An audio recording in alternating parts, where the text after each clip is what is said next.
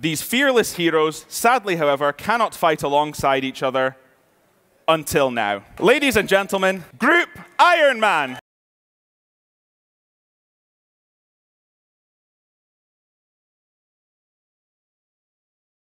What's up guys? So this is absolutely fresh off the press. The old school RuneScape team just announced their reveals for the year of 2020. This is gonna be absolutely insane what we got coming for us. So the first thing, obviously, if you've seen it, you probably saw them talk about it, but I'm just gonna go a little bit more in depth into what exactly they are releasing, and let's just get right into it. The first thing is the Morytania expansion. Now, the first part of the Morytania expansion is this new quest called Sins of the Father, which is going to be the next installment of the Myreque quest series. So if you remember in the A Taste of Hope quest, you were able to defeat Ranis Drakan and things were starting to look better for the Myreque. But supposedly in this new quest, you're going to come face to face with the Lord Drakan himself. One of the main things that's going to happen in this quest is that you'll be unlocking the vampire capital Darkmeyer. Right now, only the slums are accessible, which you kind of have to traverse in Darkness of Hallowvale. Now let's take a look at the requirements.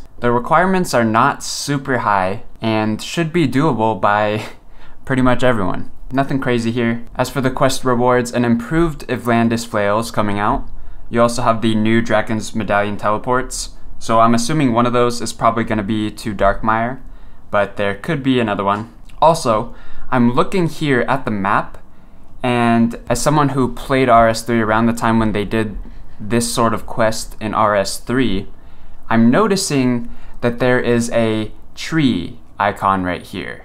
Now in that quest there is a blisterwood tree, which is what you use to make the blisterwood weapons, which are basically stronger against the vampires compared to the Ivandis flail. So I'm assuming that is what we're gonna be using to upgrade our Ivandis flail. But, you know, you never know. Sometimes things are different between the two games, so we'll see how that goes. We're also going to have a look at the new vampires in Darkmeyer. The vampire race is separated into classes or castes almost. It says here that you'll be able to pickpocket the Vyre Lords and Vyre Ladies for a unique item called a Blood Shard. And adding this Blood Shard to an Amulet of Torture will add a passive healing effect to your melee damage. That is huge. I am really curious if it will have a degrade option or if it's just free. That is really big though. Even if it's just a small percentage, that's that's pretty huge. And with this update, we're also getting Elite Vyrewatch, which are more powerful versions of the normal Vyrewatch.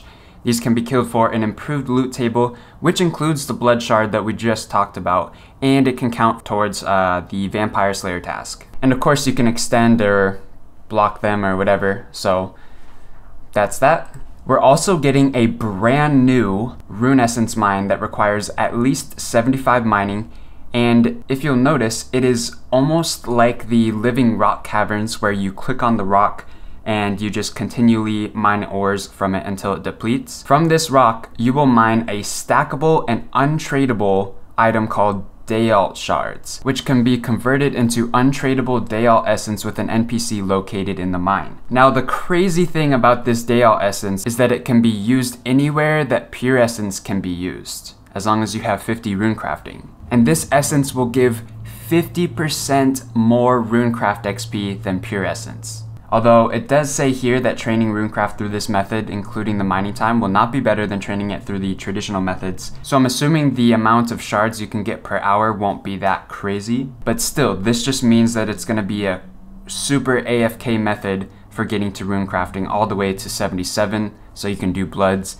and continue to do rune crafting. This might mean that once you get 50, you're pretty much AFK rune crafting all the way to 99, which would be pretty amazing. Probably the best update on here, in my opinion. how do you, hold up, how do you say this word? Sepulcher. Um, okay. Next we have the Hallowed Sepulcher, which, by the way, that looks pretty dope. It appears to be graceful, recolored in black with a red shard. That looks epic. So a little backstory on this update. Basically, before the vampires came to Morytania, the region was known as Hallowvale, and it was ruled by the Icyene queen Efaritay Hallow. Now, Icyenes are related to Saradomin, so this is a Saradomin city, basically. When the vampires came, they pretty much slaughtered everyone and took over. But apparently, most citizens of Hallowvale were buried in a great crypt known as the Hallowed Sepulchre. Now, a group of unknown individuals are particularly interested in recovering any of Hallowvale's old currency, hallowed marks, from the sepulchre. So I'm assuming this is probably like a mini game or something. Oh yeah, so it says here that it's similar to Pyramid Plunder. So, um, oh, this is actually, this looks like it's gonna be a Pyramid Plunder for agility. Okay, that is pretty sweet, actually. Cool, I'm looking forward to that. And lastly, for the Morytania expansion is something called the Nightmare of Ashihama.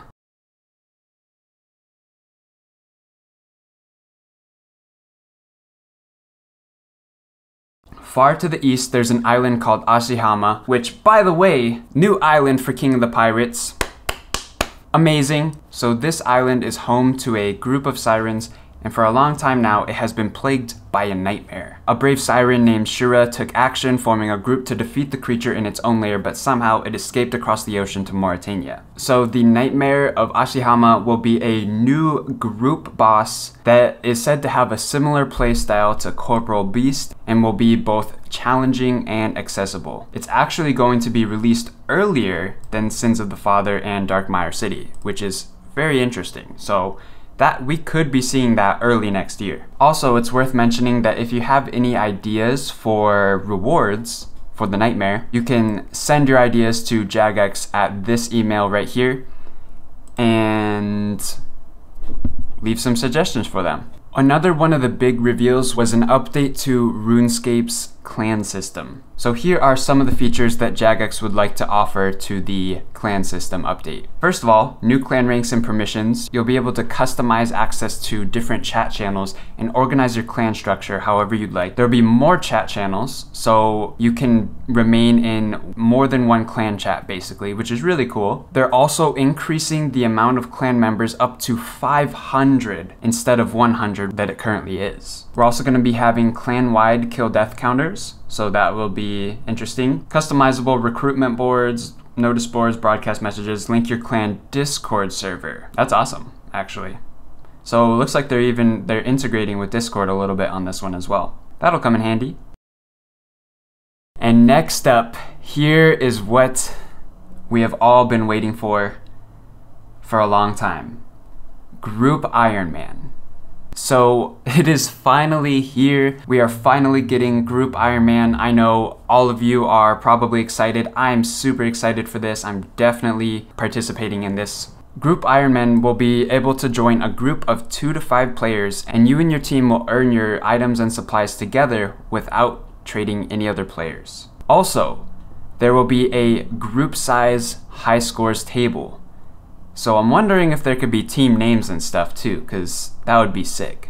And of course, there's also this new clan system, so that will be integrated into the group Ironman so that your group Ironman will have its own separate chat channel so you can communicate together, which is awesome. There will also be a group leader, and the group leader will have the power to initiate a vote to remove someone from the group. So kind of like um, Dungeoneering or more recently like Chambers of Xeric. I am most excited about Group Iron Man by far. I think it's going to add some really unique kind of gameplay mechanics that you can't really do on Iron Man, so that is something I am definitely looking forward to. And just imagine the potential with this. You could have a Group Iron Man restricted series. You could have Group Pirate Man. That would be sick. I don't know, but this is going to be an amazing update. Cannot wait for this.